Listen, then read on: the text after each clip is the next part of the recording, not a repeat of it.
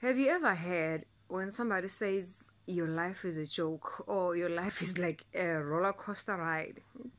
You don't know whether you're coming or going, whether it's up or it's down. That is how I feel right now.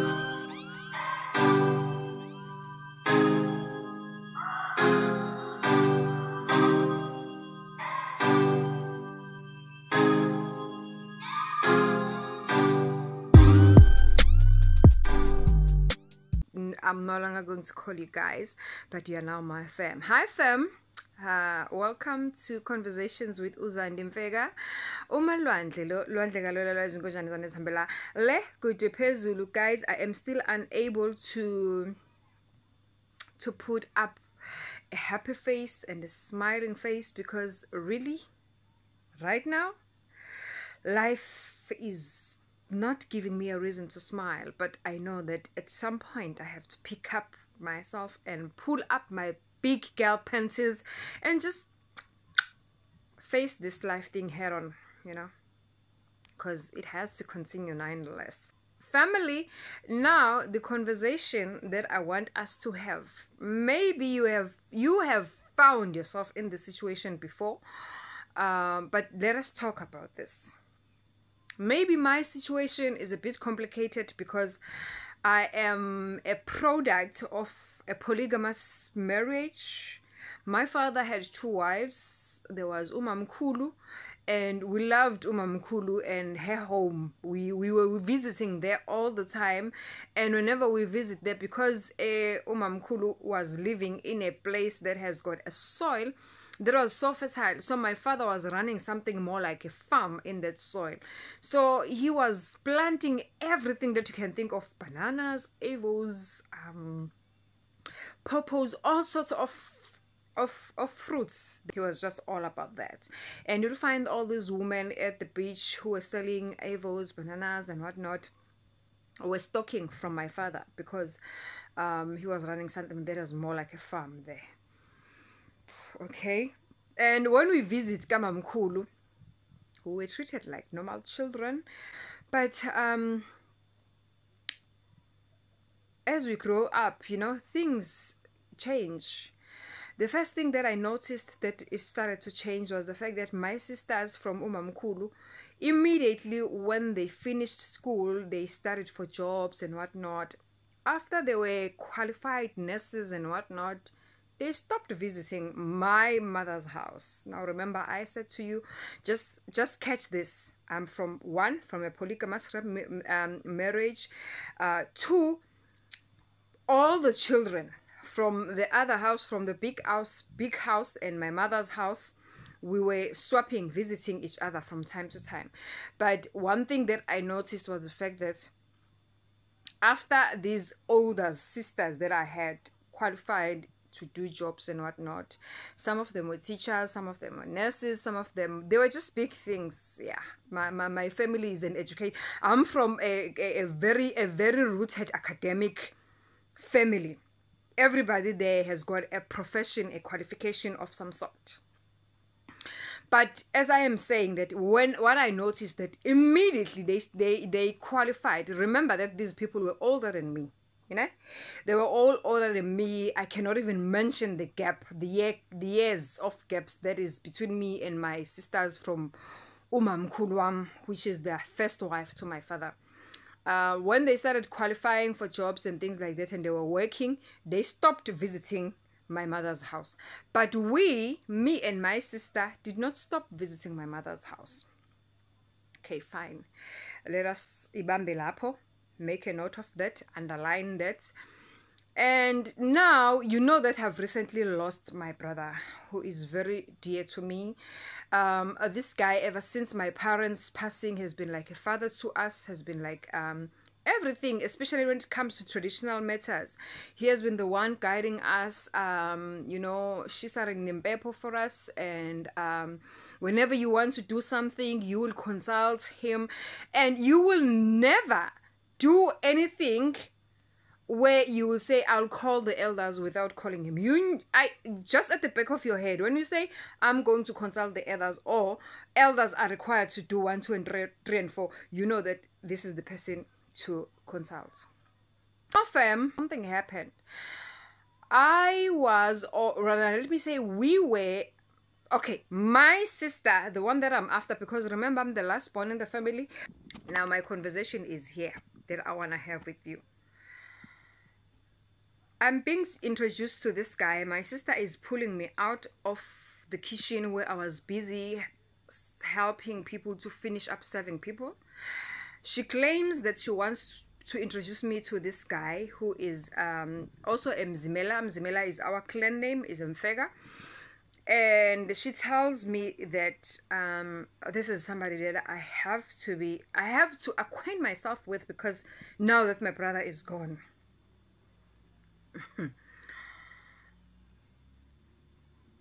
I don't have a problem with being introduced to this man because when I was looking at him, I have seen him before, but um, I've never really spoke much with him apart from greeting and greeting you know when you're greeting the elders when you're arriving at a function or at a funeral and you're greeting the elders and this person is there.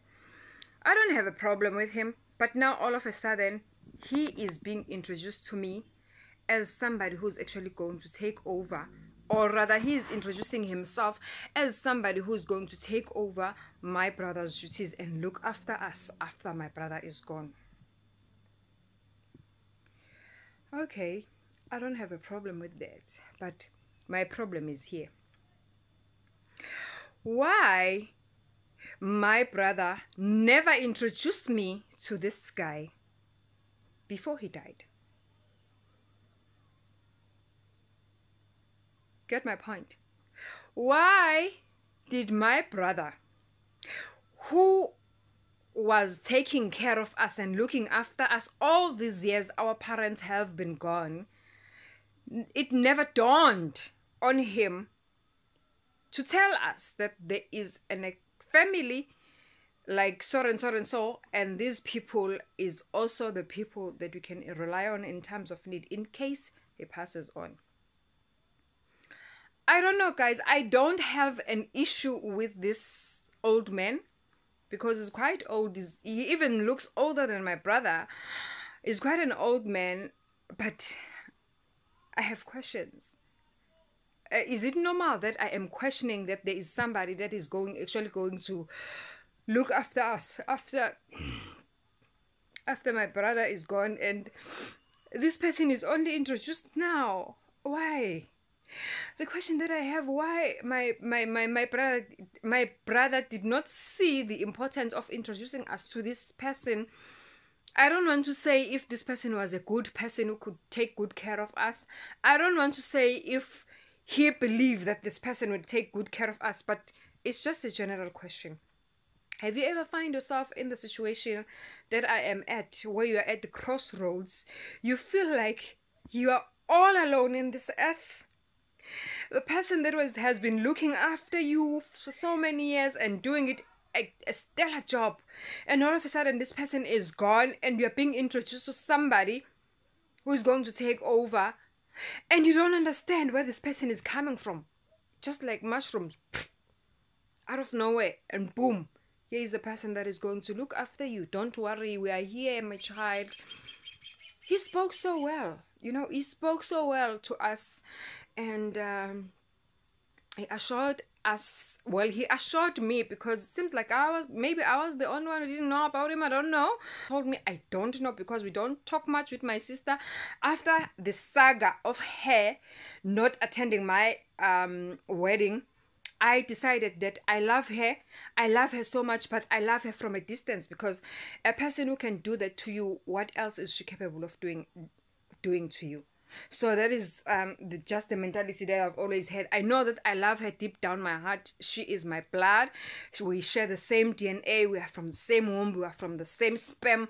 But I've told myself that after they did what they did, I told myself that no, this woman, I just have to love her from a distance because I don't know what else she's capable of. Maybe she knew about this all along, but because we don't talk much apart from hi, hi on WhatsApp and that's it, and the call, quick call, are you okay? And that's it. We're no longer heart to heart like we used to be when we were in high school and growing up, you know. Have you ever find yourself in a contradictory situation and you don't know what to believe, what who to trust, how to move on with life? Let's have this conversation. You know, family feuds or, or rather let me say things that happen in the family that hurt you so much such that you even find yourself in a situation when when where you don't even know who to trust in the family that is being introduced to you let us discuss this. Maybe from the conversation that we are going to have today, you will actually give me a solution because I am so, so confused. I am so, so confused. I am heading since the funeral. I came back to my house. I've never went out. I've locked myself inside my house. I've just been crying, crying, crying my eyes out but at the end of the day, life has to go on, right? Life has to go on, and uh, I don't know. I want to hear your views. What's your take on the matter? How do you feel when you have already accepted that yeah when i went and done you are alone and no one cares about you you don't have a family or what's not the person that cared about you is gone and all of a sudden boom somebody is being introduced to you that no my child don't worry i'm going to take care of you. You are not alone. We know that your brother has left and but he never left you alone. We are here for you. How do you feel or how if it has ever happened to you how have you handled such a situation? Because I don't know how to feel. Maybe after a month or six months or whatnot, I will my head will will clear up and I will I'll think straight. But right now, everything that I am trying to make sense of is just diluted by a lot that has happened. Why didn't he see the necessity of introducing me to this old man if this old man would have been the right person to take care of us? Am I thinking too much about this? Am I hurting too much not to see the light in front of me? Am I sitting in the dark space so much because I'm crying so much? I've lost somebody that has been everything to me so much, such that I even fail I'm even failing to see how the life is going to move on from here. Please guys, give me some advices. You are my family. You know?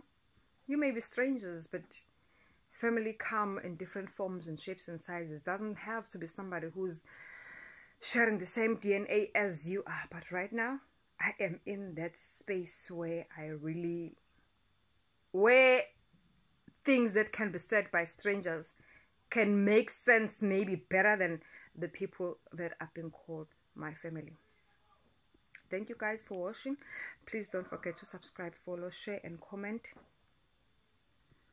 The name is Zandy. The surname is Mfeka. I love you guys. I love you.